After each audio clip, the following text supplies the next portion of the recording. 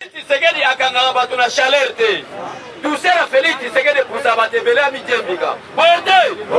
O midiembika, o midiembika te, quel que soit la durée de la nuit, le soleil en part. Idps viva! Viva! O nga China Rambo, o nga na boye. Felix Tshisekedi abomaka te.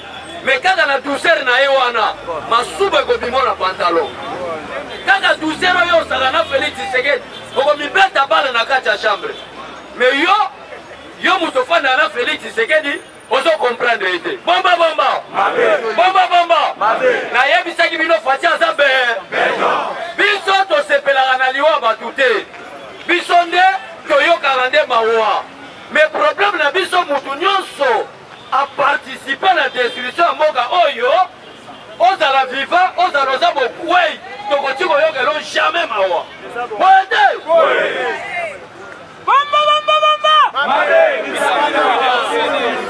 c'est aujourd'hui bomba bomba c'est aujourd'hui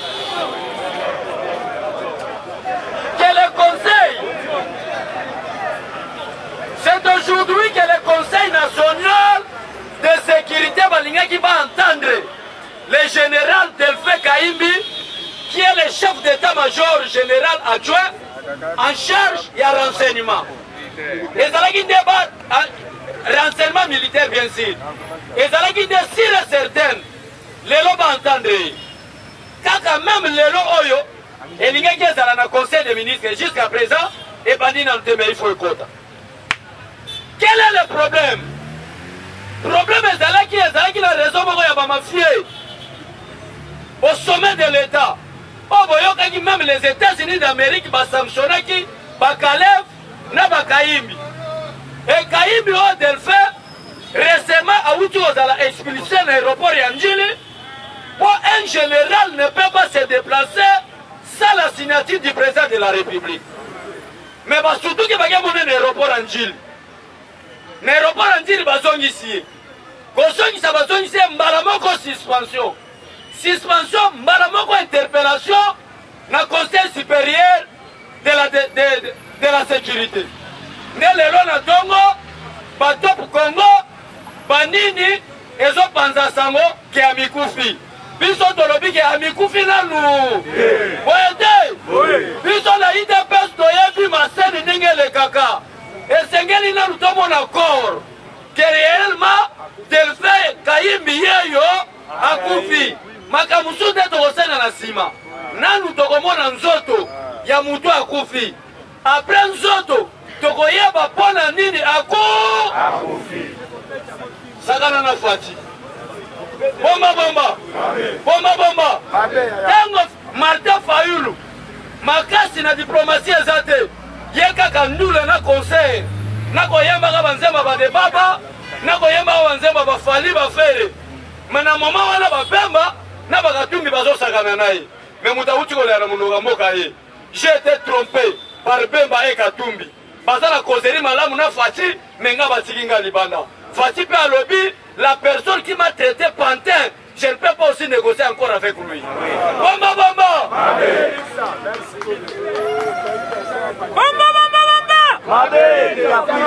Tango Fatshi Alobi je tends ma main pour tous les congolais to travailler babulaki ke Fatshi aza yuma to abolole mais alobaki yango na terme ya bolingo lelo tala vya na bino fayulu bino bato bolingaka ye ye wana ntela ntela na etats-unis nazela nanu Fatshi tokutana mais moye mpe bakutana na Fatshi nde yango ozomona makambo ezosalema mais na lanse na bakombatana ya peuple congolais Tout major, tout general alingi a semer trouble na kati ya Congo na soit disant la mort du general akokutana na peuple congolais na balabala boye te po balingi badiembela balokuta miyibi balingi badiembela na mwa bakanda lokuta general akufi general akufi te bokosanza ye boye te quelqu'un oyo oh, batie Meme appareil ya president de la republique à l'ecoute. Ti bazongisi ye na DGM na aeroport ezalaki mpo ezalaki na biloko balingaki kozwa na d'Afrique du Sud. Yango na début nayebisi bino un général, même un colonel, tout officier militaire, officier supérieur ne devait pas déplacer en dehors ya frontière sans l'autorisation du président. Yango boza komona meme amisi aza général mais président avita mpo abima libanda ezalaki mpasi. babimaka pamba pamba te nde yango wana interpellation ezalaki yaka nanu na conseil national de securite bameka nanu koyeba olinga okende kosala nini nde place makambo elingi ebima wana moto amibetaka te amisali nini eske etali biso me verite koyebana boye te koto etats-unis pression Koto se paye preso moyen okima eza te tozosakana na fati nayebisaki bino boye keba na mutu lokola felix tshisekedi ntango azosala diplomatie biso baoyo tozwa chance kozwa me bansema tshisekedi na dernier temps tshisekedi ansene biso abike felix oyo bino bozomona akosakana na bato na mboka oyo bato bakondima te tshisekedi oyo moomona le fils makambo akosala na mboka oyo Bato ebele bakoyeba te. Bakopesa ye raison plus tard. Lokola aprometaki biso annee 2020 ça sera une annee d'adaptation. Basu abandaka te asali nini? Felix longue des Quand il part, il réalise. Oyo te. Bato bazokangama to bazokangama te. Lelo oyo depuis lobi.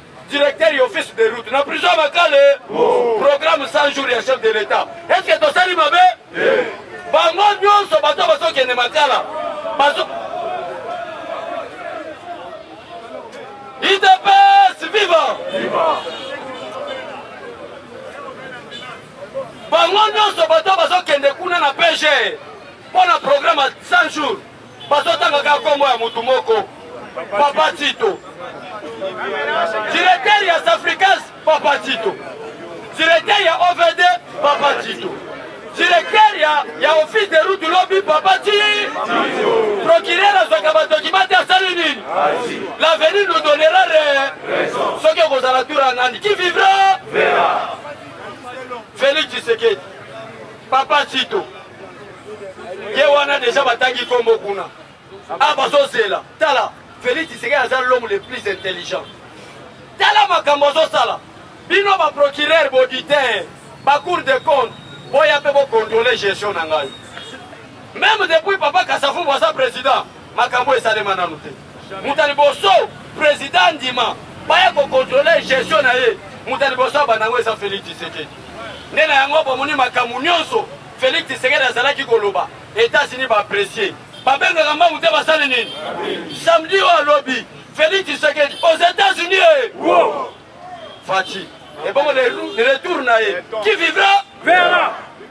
Bamba, bamba, bamba. Mabe, Vitafina. Donc, cher combattant, nga nakoyebisa bino ke mutu akufa mutu akufa te dossier ya kayimbi tokoyeba verite tokoyeba verite mutu oyo babengaki l'homme le plus puissant mpe nakoleka na nzela na bino Koloba ke awa pe to to verifier malamu mpo na Kalev Mutond.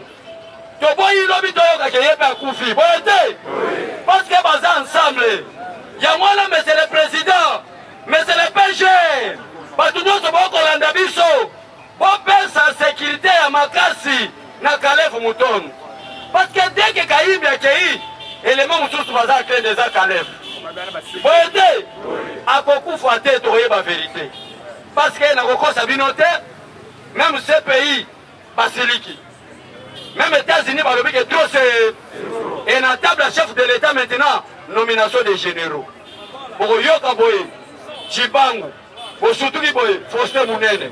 Bato moko kaka bilongi ebeba contre Kabila. Udps viva! Bomba bomba. Bakombo eza na table ya président de la République yango wana.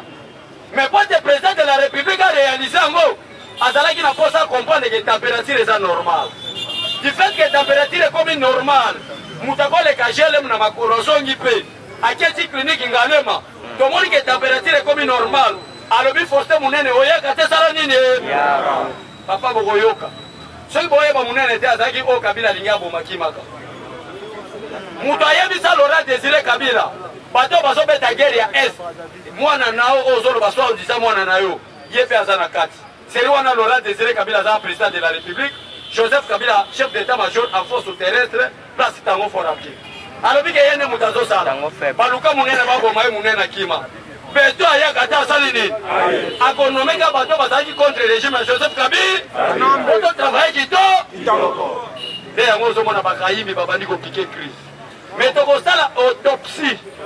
Tokolanda ti na suka. Liwa na yo esalemi ndenge nini? Est-ce que tolobi mabe? Bato babenga ba le tout puissant à l'époque. Tala yo ozoyeba Fatshi te. Oyebi Fatshi te. Mpe oyebi Delphin Kayimbi te.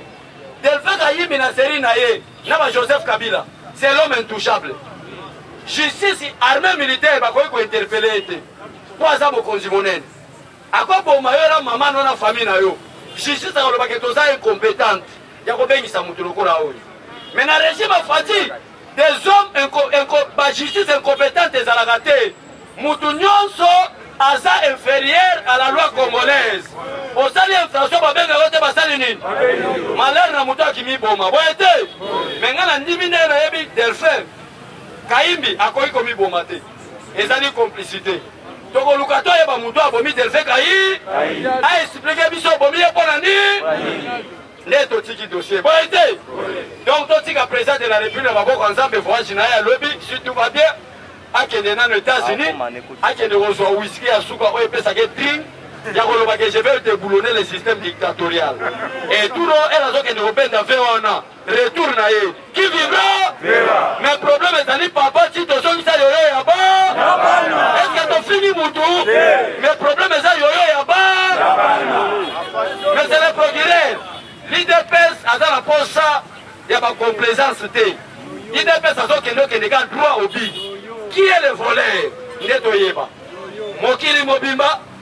Bayebi que le voleur c'est papa Tshi. Tindo.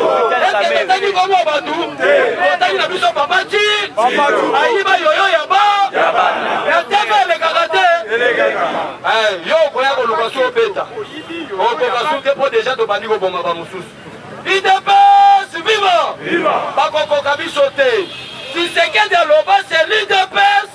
qui organisera de bonnes élections makambo oyo bazokanisa ke bazotyela félix tshisekedi bakoka jambe eza bakoka jambe te ezali nzela bapesa félix tshisekedi ata transition ya 10 ans boye te bango bazokanisa eza bakoka jambe po akweya je vous assure Cher combattant, eza ba coq à jambes te, mais eza transition sans Kabila oyo to reclama depuis accord cadre ya Addis Abeba.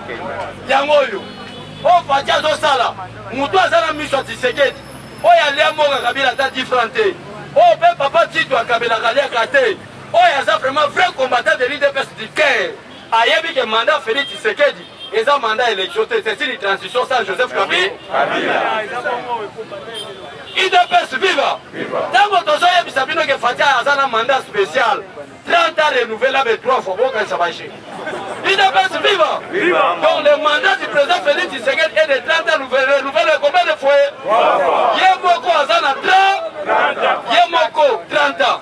Mais tata wana ntango akotika elingi koloba te idps a perdre abwaki su miso na idps nani akosala interim pendant 10 ans soki akozwa shole soki kabuya soki kabund soki mpe yo na tete ya pays pendant combien d'année 10 ans toluki su motu mosusu 10 ans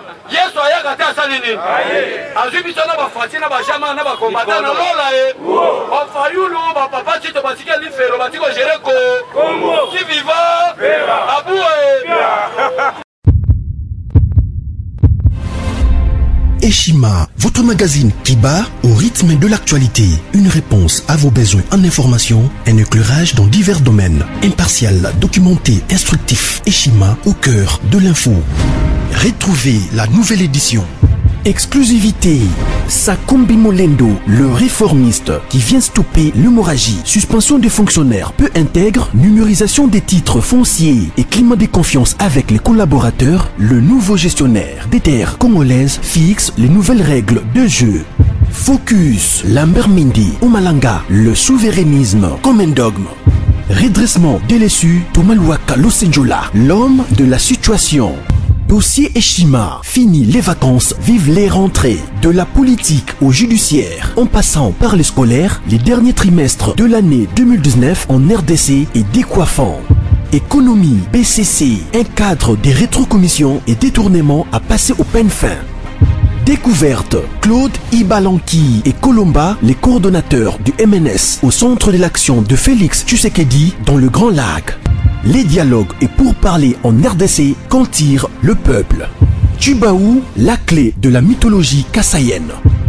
Retrouvez l'intégralité du magazine Eshima dans les kiosques. Eshima Magazine, un nouveau standard d'information.